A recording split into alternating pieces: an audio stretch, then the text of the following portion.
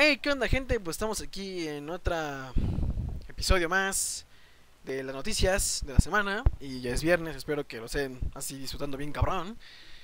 Y bueno, pues empecemos con Ninja Gaiden. Y pues el estudio de Team Ninja Pues ya saben que nos va a entregar un spin-off de la saga de Ninja Gaiden Conocido como Jaiba o Ninja Gaiden Z y la pregunta que hicieron fue, ¿qué seguirá para la desarrolladora después? Entonces, bueno, pues de acuerdo con su director general Yosuke Hayashi, ya, bueno, todos los fans lo conocemos, un nuevo proyecto, un nuevo proyecto para el PlayStation 4 puede ser posible que esté desarrollando dentro de la, dentro de la compañía. Primero lanzaremos Jaiba, fue lo que dijo Yosuke Hayashi, que es Ninja Gaiden Z para PS3 y 60 que es un trabajo conjunto con la compañía de Keiji Inafune. Y bueno, explicó Hayashi en una revista para el sitio de japonés.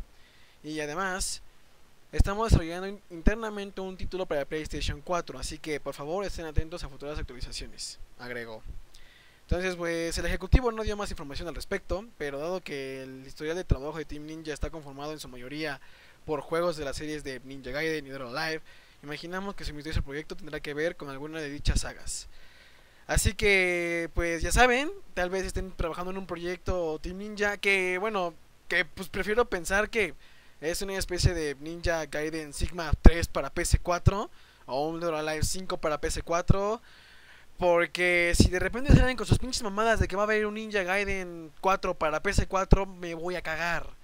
Y no creo que lo hagan, porque pues tienen muchos fans tanto en Xbox 360 como en PlayStation. Así que pues espero que no hagan esas mamadas. Pero pues ya saben, o sea, va a salir ya este mes, bueno, estos meses que viene. Y pues ya están trabajando en un proyecto para el PlayStation 4, que supongo yo que va a ser exclusiva, no lo sé. Ya supongo yo que en la E3 va a haber trailers, que por cierto tienen mucha razón. Lo, algunos este algunos compañeros míos que la neta la E3 de este año va a estar bien cabrón, va a tener muchas sorpresas y una de estas va a ser pues Team Ninja, con tal vez nos sorprendan con un Ninja Gaiden 4, tal vez nos sorprendan no sé, con alguna exclusiva de PS4 y los haga feliz a ustedes de PS4. Y pues, pero esperemos, esperemos en Dios que no sea un Ninja Gaiden 4 para solamente PlayStation 4, porque sería una reverenda mamada. Y bueno, pues pasemos con Destiny. Y sí, tiene que ver con la beta. El director de Activision Publishing, Eric Hirschberg, reveló durante la más reciente junta financiera de la compañía que Bungie comenzará con la fase beta de su esperado título, Destiny, durante el verano de 2014. Anteriormente se había dicho que esta llegaría a inicios del mismo año, pero no, ya vimos que no. Creemos que Destiny puede convertirse en una franquicia de mil millones de dólares y estamos trabajando duro para lograr que sea la más grande propiedad intelectual en la historia de los videojuegos. Juntos estamos brindando a los jugadores un juego ambicioso e innovador que combina la intensidad de la acción en primera persona con las conexiones sociales de un RPG en un universo inmenso conectado, dijo Hirschberg. Entonces, pues yo sí le creo, la verdad, porque es Bungie. Bungie es hermoso, es maravilloso, es así divino. Y bueno, pues el, ejecutivo reiteró que el título sigue en pie para salir el 9 de septiembre, como se anunció con anterioridad, y que Activision buscará expandir el universo durante muchos años con algunas propuestas que revelarán durante los próximos meses. Entonces, pues ya saben que Destiny va a llegar, ya está, ya llegó, bueno, sí ya llegó en su etapa beta. Entonces, pues tal vez por ahí después de la 3 veamos una betilla de Destiny. Este, pero bueno, ya está como en la en el server mode este de desarrollo, o sea, ya van a mirar la mitad, por así decirlo, de el desarrollo de Destiny, así que esté dentro de trailers, gameplays y demás cosas de Destiny. Y bueno, una mala noticia para ustedes y para todos nosotros que tenemos Xbox 360. Y sí, Electronic Arts retrasa Titanfall. A solo un mes del esperado lanzamiento de Titanfall, Electronic Arts dio a conocer que la versión para Xbox 360 será retrasada dos semanas, es decir, estará disponible hasta el 25 de marzo. La demora, según EA, se debió que Bluepoint Games necesita tiempo extra para afinar los títulos de los últimos detalles del shooter, perdón lo que se encargará de ofrecer a los fans una gran experiencia. Entonces, pues, uh, pues lo que es este Respawn Entertainment y que está encargado de hacer el juego para Xbox One y PC, pues ya está, en la etapa Gold del desarrollo del juego, o sea que ya está casi terminado, solamente falta pulir algunas cosas, pero campaña multiplayer ya está. Bueno, están afinando el multiplayer más bien. Este, pero lo demás ya está. Entonces, pues para nosotros, los pequeños pobres mortales, tenemos Xbox 360, pues tenemos que esperarnos unas semanas más para que salga Titanfall para nuestras consolas, porque pues ya escucharon, ya fue retrasado, entonces va a salir hasta el 25 de marzo. Pero pues no se preocupen y parece ser que no va a haber beta. Entonces yo que ustedes no me doy muchas esperanzas de que haya beta para Xbox 360 y que tienen PC, una PC choncha, pues les recomiendo que vayan pidiendo, vayan viendo qué onda con la preventa de Titanfall para PC, para PC para que puedan jugar este la beta y que aquí tienen Xbox One y ya apartaron su su este su juego, bueno, ya están más que servidos. Pero mientras tanto, nosotros no tenemos que esperar hasta el 25 para pues, obtener Titanfall para Xbox 360. Más malas noticias, pero esto es solamente una especulación. Que The Phantom Pain, o sea, Metal Gear Solid 5, podría retrasarse hasta el 2015. Después de las revelaciones acerca de la duración de Metal Gear Solid Ground Zeroes, que eso lo veremos en noticias más adelante, y de las declaraciones de Kojima, Konami anunció hoy, 6 de febrero, obviamente hoy no es 6 de febrero, que The Phantom Pain podría no aparecer sino hasta marzo 2015 Dave Gibson, analista de, de desarrollo, declaró, declaró, vía Twitter que Konami considera Ground Zeroes como un pequeño avance planeado para este año, mientras que The Phantom Pain se retrasaría hasta fines del primer trimestre del 2015.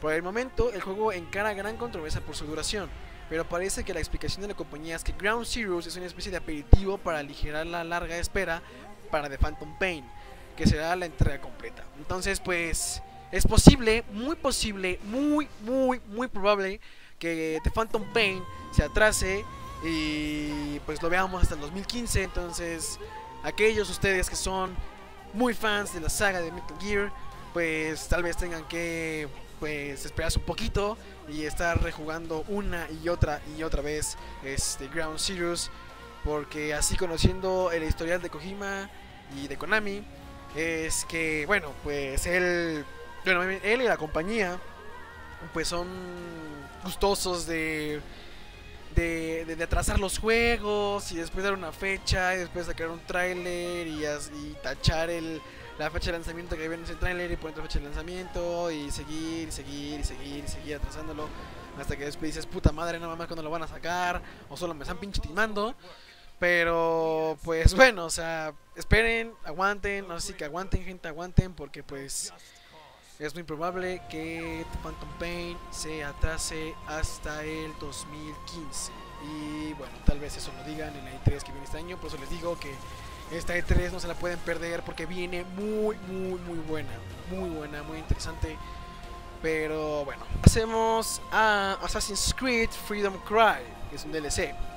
Y bueno, pues la compañía francesa conocida como Ubisoft reveló que Freedom Cry, la campaña adicional de Assassin's Creed 4 Black Flag, será lanzada como una experiencia standalone el 18 de febrero para PlayStation 4 y PlayStation 3 por la mínima cantidad de 14 dólares y el 25 del mismo mes para PC también por el mismo precio. Freedom Cry debutó como DLC de Black Flag el pasado 17 de diciembre. Se trata de una historia adicional con nueve misiones únicas y protagonizadas por por, bueno, no se puso su nombre, por Aid Whale, el primer oficial de marina de Edward Kenway, 15 años después de unirse la tripulación del Jack Dow. La ventaja que representa adquirir contenido descargable como un juego separado es que los fans no necesitarán de Assassin's Creed 4 Black Flag para experimentarlo. Sin embargo, solo estará disponible de manera digital, por lo que consumirá espacio el disco duro durante la misma forma que su similar en forma de complemento extra. Ubisoft no mencionó si la versión standalone de Freedom Cry llegará más adelante al Xbox 360, Xbox One o Wii U. Pero en cuanto exista más información, se las haremos a saber.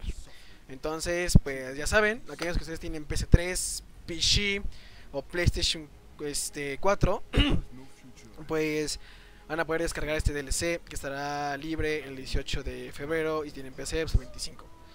Y bueno, aunque a mí se me hace una mamada hecha y derecha, porque pues yo digo que ya deben de darle fin a esa pinche franquicia, pero pero bueno, este, seguirán este, deleitándolos con trailers de live action como este, bien cabrones, bien perros y bien vergas. Pero mientras tanto, pues esperemos que no la caguen y la franquicia, bueno, la franquicia fue la mierda, pero pues que no la caguen más en lo que ya la han cagado.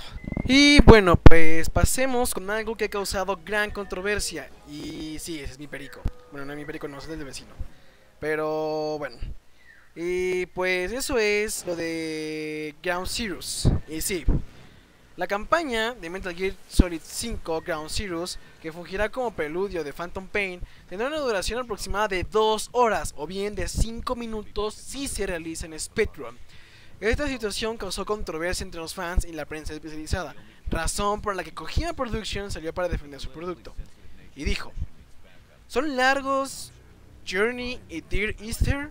explicó Jordan Amaro, diseñador del estudio. La novela de Voltaire Candido tiene como 100 páginas cuando mucho y aún así son obras maestras de los videojuegos y la literatura. Esta situación no manchará ni afectará lo que tratamos de lograr con Metal Gear Solid, la industria de los videojuegos o los juegos en conjunto, agregó. El diseñador expresó que desea que los fans celebren el nuevo Metal Gear Solid como solían hacerlo con entregas pasadas.